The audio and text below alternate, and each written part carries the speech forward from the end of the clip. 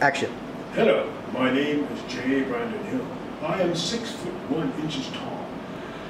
I've done lots of films. I've done like 35 films. I forget how many web series and regular TV series and bohut ads. I've worked with big people, little people, famous people, not famous people, and myself. And now, excuse me, I'm going to turn to my right. Now I'm going to turn to my left. And not that you guys care, but I've also done a lot of theater. Thank you.